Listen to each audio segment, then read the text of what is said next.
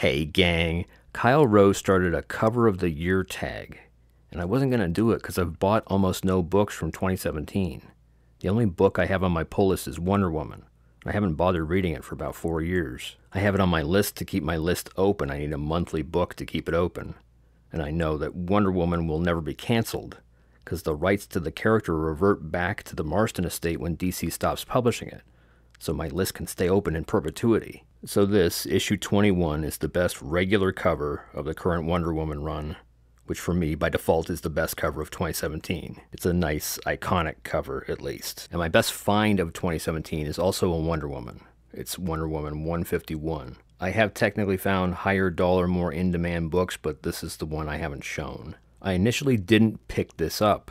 I'd just been to my comic book store where all the regular employees know that I don't like my comics to be mangled. The girls sort of giggled and I'm so careful, but I'm like, laugh away, ladies, because I'm not paying the Canadian equivalent of cover price for these books if they're all VF'd up. But I get some douche who's new. Grab, crush. It wasn't even a new book, it was from the $2 bin. I don't give a care, don't manhandle my mags. After that, I'm super pissy and I go to the antique mall that's down the street from there. One booth. The guy has stuff in piles on card tables. He has books in bags that are so stiff and crusty, I guess he figures they don't need backboards. You know, bright yellow bags with eBay priced tags. He's got the boxes labeled by character, and I see a Wonder Woman short box. I flip through, and they're mostly $3, and they look fine, but I pull them out, and the bottom's all screwed.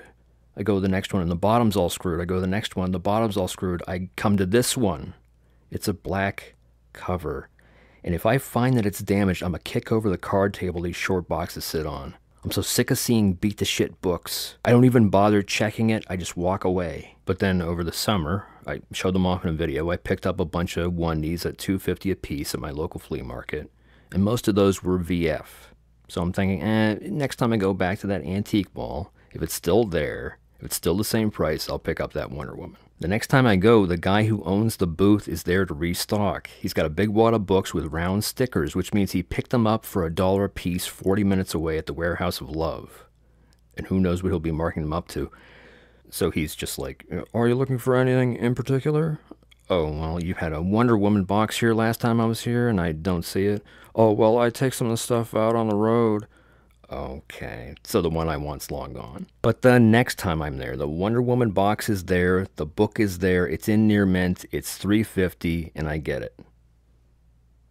That was a long story. So thank you to Kyle Rowe, thank you for starting this tag, and thank you to the comic book Aesthete for pushing people to do it. And the tag's open, so Sleepy, Johnny, Costume Bromstar, Tim Morant, Sarge, it's a great excuse to make a quick video.